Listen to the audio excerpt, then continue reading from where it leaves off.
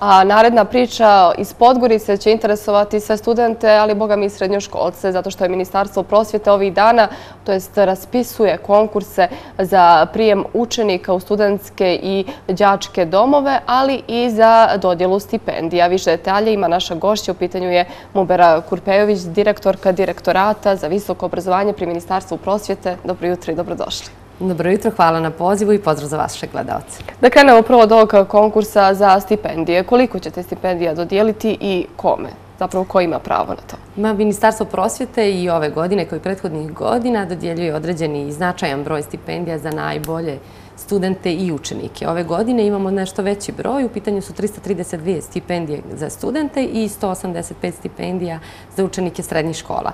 Kada govorimo o studentskim stipendijama, pravo da konkurišu za te stipendije imaju svakako najbolji studenti u smislu da će konačno pravo ostvariti oni koji imaju najbolju prosječnu ocjenu, odnosno najbolji indeks tokom studiranja i pravo učešće imaju samo studenti od druge godine i starijih godina. Kada govorimo o samim brojkama, 200 stipendija je namjenjeno za studente studente koji su već ranije ostvarili to pravo, znači imaju pravo da produže ukoliko su bili dobri, dok imamo 100 za nove studente i iskoristila bih priliku da kao novinu pomenem 20 stipendija za lice sa invaliditetom i 12 pardon, stipendija za lica koja završavaju e, studijske programe za rad na albanskom jeziku.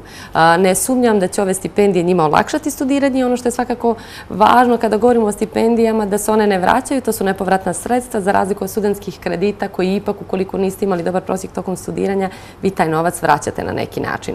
Kada govorimo o stipendijama za učenike srednjih škola, dodjeljujemo 185 stipendija gdje imamo određeni broj, opet ponavljam, za one koji su ranije, e, već ostvarili ostvarili pravo, znači kada govorimo o osnovnim školama imamo 40, 20 za nove, 60 za stare korisnike koji su učenici srednjih škola, 30 za nove i 35 stipendija za deficitarna zanimanja, odnosno deficitarne kvalifikacije u oblasti srednjeg obrazovanja i to su za ovu godinu kuvar, konobar, poslastičar, pekar i instalator u građevinarstvu. Ovo je nešto što može biti onako primamljivo za učenike srednjih škola, posebno za one koji se obrazuju u stručnom obrazovanju i kada je aktualna i priča o implementaciji dualnog obrazovanja, što opet ponavljam, osim novca koji mogu dobiti kao polaznici praktične nastave, oni imaju priliku ukoliko pohađaju neki od obrazovnih programa iz ovih oblasti da osvare pravo i na stipendiju. Ono što je također značajno za sve i učenike i studente jeste da se dokumenta će se predavati od 3. septembra do 19. oktobra. Sada je samo konkurs objavljen i svakako da se na sajtu ministarstva može vidjeti koje su sve to mhm. potrebna dokumenta. Ali ono što je bitno, opet ponavljam, da u pitanju prosječna ocjena za stipendije je najmanja 9. Oni moraju prvi put upisivati taj e, semestar u ovoj tekućoj godini i svakako ispuniti i druge formalno pravne uslove u smislu da nisu bili godinu i ona druga mhm. dokumenta koja potvrđuju da su oni studenti fakulteta sa kojih apliciraju ili učenici škola sa kojih opet apliciraju za stipendiju. O kojem iznosu govorimo? Koliko će iznositi ta stipendija? Stipendija u zavisnosti od godine, znači za studenta ona iznosi između 85 i 90 eura, dok za učenike osnovnih i srednjih škola negdje oko 50 eura, što opet ponavljam kada govorimo o studentima, to je veći mhm. iznos od onog iznosa koji je potreban za obezbeđivanje smještaja i ishrane u studentskim domovima, jer za tu, da kažem, uslugu je dovoljen iznos koji oni dobijaju kao studentski kredit. I svakako da sve ove, da kažem, povodnosti koje dobijaju studenti u Crnoj Gori su negdje na fonu i unapređenja samog studentskog standarda, odnosno boljeg i lakše života naših studenta. Eto, kad ste pomenuli boravak u studentskom domu, raspisan je konkurs i e, za prijavu boravka, pa koliko mjesta ima i za studenta, koliko za srednjoškolce? Tako je, konkurs koji je također aktualan jeste konkurs za smještaj u studentskim i učeničkim domovima i tu imamo opet propisanu proceduru i ono što bih iskoristila priliku da pomenem i kao prednost i samog apliciranja po svim ovim konkursima jeste elektronska predaja dokumenta. Posebno za krediti i stipendije, osim za studente koji studiraju van Crne Gore, oni osim elektronske dostavljaju i papirnu verziju, što na neki način olakšava i samim kandidatima, a i na kraju našim komisijama institucijama koje obrađuju podatke. Kada govorimo o smještaju u studentskim domovima, imamo 2222 mjesta na raspolaganju. Imamo studentske domove u Podgorici, Nikšiću, Beranama, Baru i Kotoru.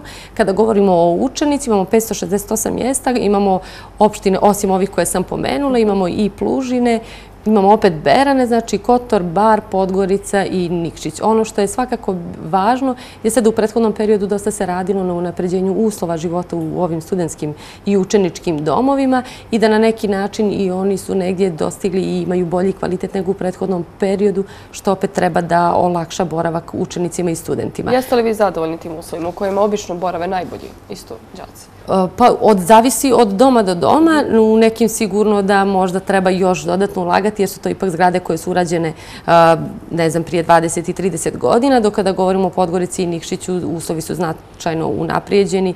Vi imate novi studentski dom u Podgorici od prije 4-5 godina koji zaista nudi mhm. uslove kakve imate i u hotelima nekih viših kategorija. Isto tako imamo unaprijeđene studentske kapacitete i u Nikšiću. Tako da sigurno naši studenti se mogu pohvaliti sa uslovima u kojima studiraju, dok svakako u narednom periodu bit će prostora i za neka dodatna ulaganja i unapređenja uslova smještaja i u drugim domovima. Također ono što je novina, što je nedavno objavljeno, jeste da je utvrđen predlog zakona o akademskom integritetu. Pa evo da čujemo koje su neke ključne odredbe ovog zakona i na koji način će se kontrolisati da li je nešto plagijat ili nije. Tako je. Crna Gora je prva zemlja koja je kroz poseban zakon uredila oblast akademskog integriteta u smislu i zaštite i prevencije. Ovo je zakon koji treba da vrati ugled visokom obrazovanju, da na neki način doprinese transparentnosti rada ustanova visokog obrazovanja i svakako napredi kvalitet u visokom obrazovanju. Ono što je novina jeste utvrđivanje same procedure na jedinstven način na svim ustanovama visokog obrazovanja, tako da ćemo sada na svim ustanovama imati etičke odbore umjesto dosadašnjih sudova časti koji će se baviti znači, utvrđivanjem kršenja akademskog integriteta. Imaćete kao drugostepeni organ Senat, po prvi put ćemo dobiti tijelo na nacionalnom nivou koje će se zvati etički komitet koji e, jedna od prvog zaduženja jeste i usvajanje etičke povelje, razmatraće druge inicijative koje se tiču akademske etike i zaštite integriteta i ono što je svakako bitno, razmatraće inicijative ili prijedlog iz utvrđivanja kršenja akademskog integriteta ukoliko je rad objavljen ili stečen u inostranstvu, dok za radove kvalifikacije stečene u Crnoj Gori bit će zadužena, kako sam već i rekla, tijela ustanova visokog obrazovanja. Ono što je također bitno pomenuti da kroz sami zakon nismo na neki način ugrozili autonomiju ustanova visokog obrazovanja, već oni svojim posebnim aktima utvrditi i stepen podudarnosti radova. Oni će propisati bližu proceduru u smislu formiranja komisija koje će razmatrati te inicijative, što je svakako negdje na fonu i u skladu sa najboljom uporednom praksom. Ono što je već evidentno još dok je bilo u toku i priprema samog zakona jeste da su ustanove već prepoznale značaj samog zakona i značaj zaštite integriteta i već su počele i sa kursevima i sa unapređenjem pisanja, odnosno metodologije za pisanje radova. Tako da sigurno ako vi možda počevši od najranijih mhm. uzrasta razvijate tu svijest koliko je štetan plagijarizam, ako ih vi učite na pravi način kako treba da se pišu radovi, kako da se citiraju, parafraziraju drugi autori, vi ćete na taj način spriječiti i plagijarizam i druge oblike kršenja akademskog integriteta i u tom slučaju neće biti potrebe za sankcijama koje nekad zaista mogu biti da kažem, i teške polog koje namjerno ili nenamjerno plagirao rad, jer vi imate nekad često situaciju da možda neko nije namjerno ili je nenamjerno zaboravio da navede koga je citirao. Tako da dođete u situaciju da zbog nekog rada vi izgubite sva zvanja i titule koje ste stekli na nekoj ustanovi visokog obrazovanja, ali opet ono što će vam reći sve kolege iz inostranstva koji možda imaju više iskustva u ovoj oblasti, ono što je negdje najveća posljedica i da kažem kazna za onog ko je optužen ili za koga se utvrdi da je rad plagirao, to je ta osuda društva, osuda javnosti. Jer e, vi teško da možete izbrisati ili zaboraviti osudu javnosti za plagijat i svjesni ste puno slučajeva koji su bili u nekim razvijenim zemljama i Zapadne Evrope i šire gdje su, e, ne znam, ili prepoznati stručnjaci ili ljudi koji su bili na funkcijama podnosili ostavke upravo zbog optužbi ili potvrde da je bio u pitanju plagijat. Bilo je i kod nas ali nismo vidjeli ostavke. Ovaj, eh, kada očekujete će biti primjena zakona? Zakon je vlada utvrdila na prošloj sjednici i on će već u septembru biti procesuiran skupštini, tako da tokom jesenjeg zasjedanja se očekuje usvajanje i implementacija će naravno početi odmah.